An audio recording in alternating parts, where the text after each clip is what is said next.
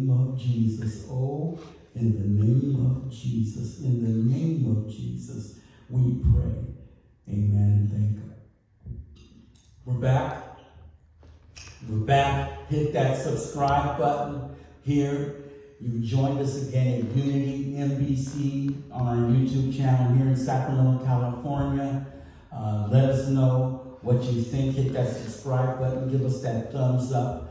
That's all we're going to tell you is that Jesus is the only answer for this crazy, maniacal, mixed up world in which we live in. There's only one name given under the heavens by which men shall be saved. At the name of Jesus, every knee must bow. And that's all we're going to tell you, that Jesus is the only answer. Jesus is the only way. That he died on the cross and rose on the third day morning with all power in his hands. We have been in the book of uh, Romans for quite some time. We are still in Romans, the 15th chapter. Last time we came at you from the 19th verse. Today we're coming to you from the 20th verse. And so I have made it my aim to preach the gospel, not where Christ was named, least I should build on another man's foundation. But as it is written, to whom he was not announced, they shall see, and those who have not heard shall understand. We're going to take a subject directly from the 20th verse. My aim to preach the gospel. My aim is to preach the my aim is to preach the gospel. There's nothing more rewarding. There's nothing uh, as beautiful as preaching the gospel of our Lord and Savior, Jesus Christ. Preaching this Bible. I love preaching this Bible from Genesis to the book of Malachi. From Matthew, Matthew, Matthew to the book of Revelation of our Lord and Savior, Jesus Christ. Uh, it's been rewarding. Uh, a lot of people today don't see it as rewarding. A lot of people try to do different things with the gospel, with the word of God, but stay in the word of God. Prayers out to that bishop in Australia that was savagely attacked and stabbed a few days ago. Um, a lot of people today don't understand there's also a certain amount of danger because if you talk about certain groups, you may have backlash. You may get canceled. Somebody may try to physically attack you. Somebody may come up and say something derogatory about you or derogatory about our Lord and Savior, derogatory about the Bible. But here it is, my brothers and sisters. Stay in the Word of God. It's like where we had you at last week in the book of Romans when we did the 19th verse. And the mighty signs and wonders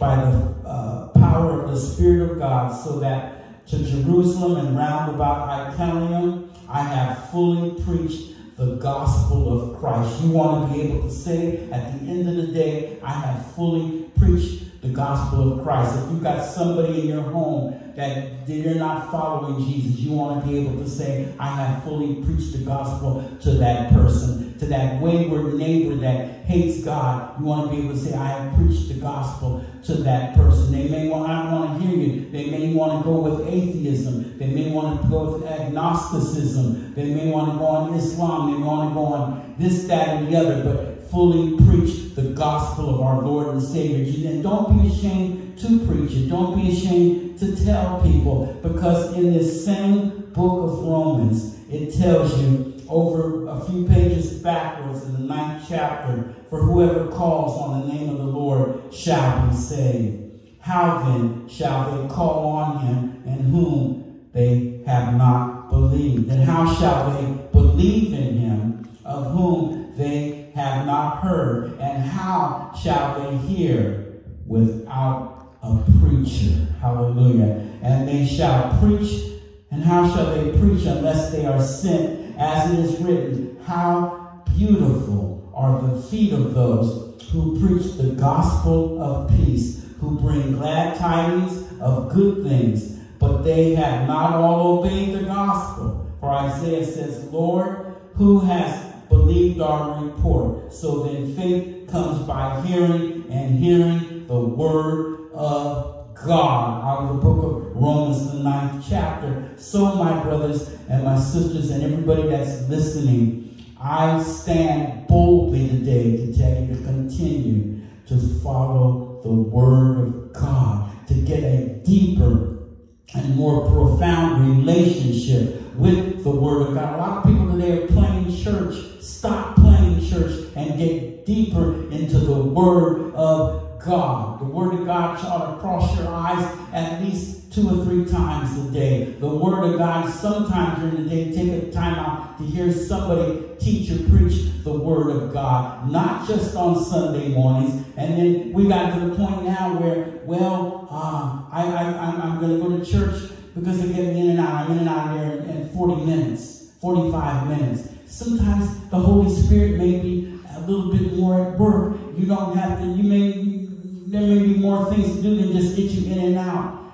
Don't be in such a rush to get in and out. Get deeper into the Word of God. One of that ways is to fall in love with preaching. That's why so many people can hear the Word of God and and they go, Well, I have questions about it. I don't understand where it's getting. I didn't get it. I didn't feel the Holy Spirit. You're not into the Word of God enough. Listen to the Word of God so that when somebody gets up in left field, you'll know it because you are deep and you have a deep relationship with the Word of the true and the living God. To our text, Romans the 15th chapter, the 20th verse says this. And so I have made it my name to preach the gospel, not where Christ was named, lest I should build on another man's foundation. What is Paul saying here?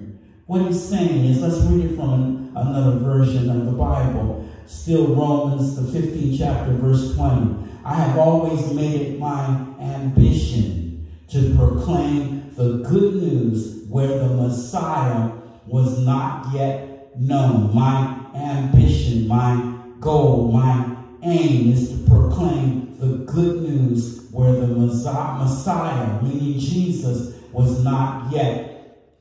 We should have an ambition. If you're a preacher listening to me today, if you're a church person today, your ambition is to get so deep into the Word of God that when you have to give advice, you give them biblical advice.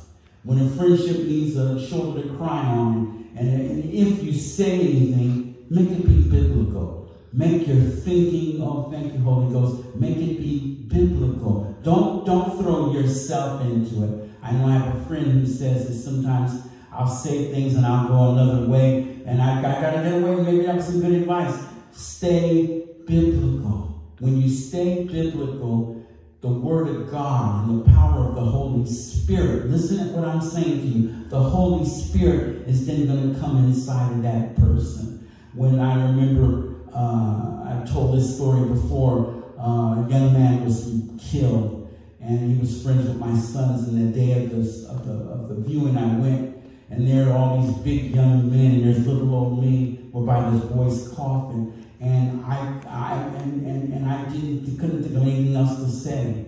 But there's only one name given under the heavens by which men shall be saved. That's I have to bring the word and name the word and name of Jesus there to how can I put this to bring uh, comfort to those young men. There was no other way. I remember we had a young lady that was killed by a bus. It was a terrible accident. The bus smacked her and killed her. And uh, at the day of the service, uh, the school psychologist and other people, they were they were all we were going to make a united front well, they all fell apart. But I came and I said, Oh, in the name of Jesus. Oh, in the name of Jesus. Oh, in the name of Jesus. A comfort, a calmness fell over that by that girl's, that child's coffin. I was able to help and to just bring out, oh, in the name of Jesus. That's all I could think to say. Oh, in the name of Jesus. And there's nothing like the name of Jesus. Only one name given under the heavens, and that name is Jesus. So it is my aim and my ambition to preach the gospel. Getting back to this verse again, so that I would not be building on someone else's foundation. Now, that sounds slightly arrogant. Why would Paul make that assessment and make that statement? Let's read verse 15, 20 from a still another version of the Bible.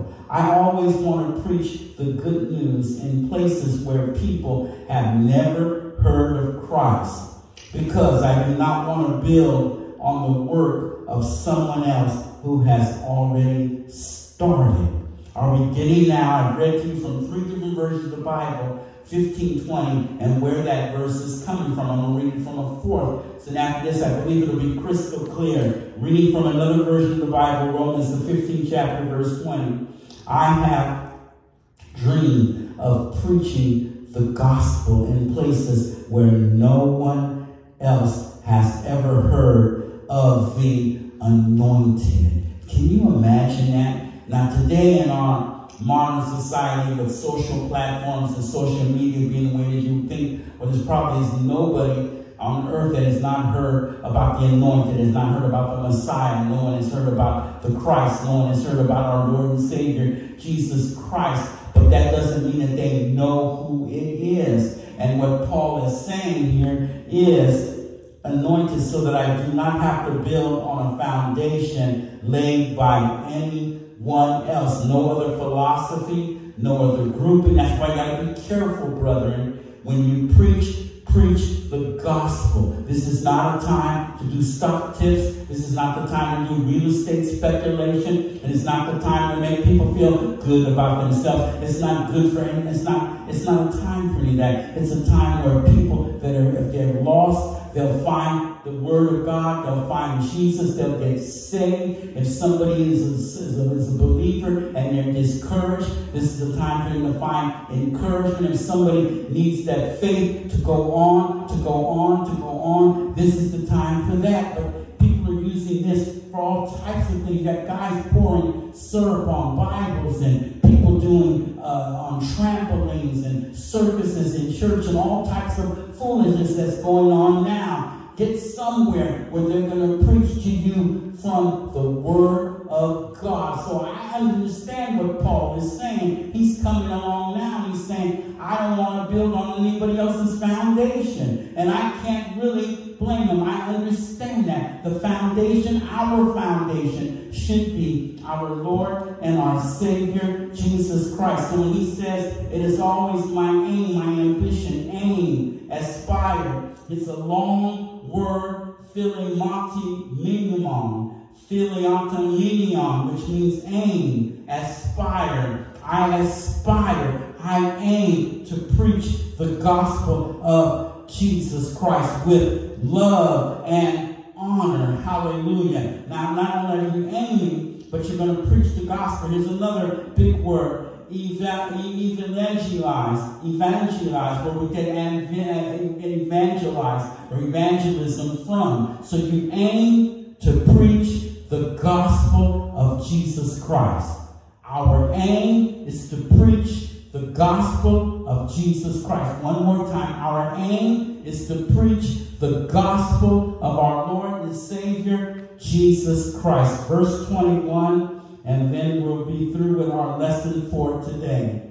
But as it is written, but as it is written, to whom he was not announced, they shall see. And those who have not heard shall understand. When it says, but it as it is written, grapho, it is written, the word of God. When you see that, and talking about specifically the word of God, it means we are to pay attention. It means that we should stop and grasp, start and stop and grasp the word of God, that we should pay very strict attention to the grapho, the word of God, as it is written. To whom, go, the second part of that is Isaiah the 52nd, when you see the italics in the 21st verse, it says,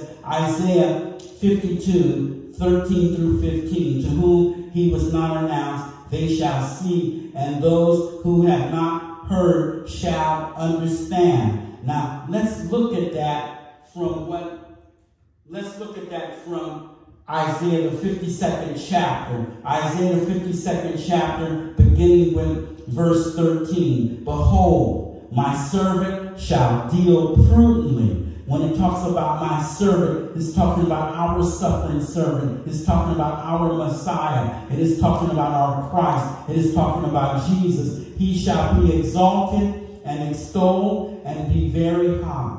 Verse 14, just as many were astonished at you, so his visage was marred more than any man. Meaning he died on that cross. He went through it for us. He went through craziness for us. He went through a horrible execution for us. Hallelujah. Hallelujah. And his form more than the sons of men. So he shall sprinkle many nations. Kings shall shut their mouths at him. Any king who's been a king since that time, their lives mouths were eventually shut in death. No matter how great they were, how they were exalted. There's nothing and no one like King Jesus. Hallelujah. Kings shall shut their mouth at him. For what had not been told them, they shall see. And what they had not heard, shall they consider. So he is quoting in Isaiah. Paul quotes again here in verse 22. So when he talks about consider at the end of um, Isaiah 52 15, the second part of that is understand. So we are to consider and to understand who our Lord and Savior is, to consider and to understand who Jesus is. As we get ready to go, preaching the gospel is not always easy, but we are to stay focused, laser focused, sharp focused on our Lord and Savior, Jesus Christ. The 19th number of Psalms, verse 13, keep back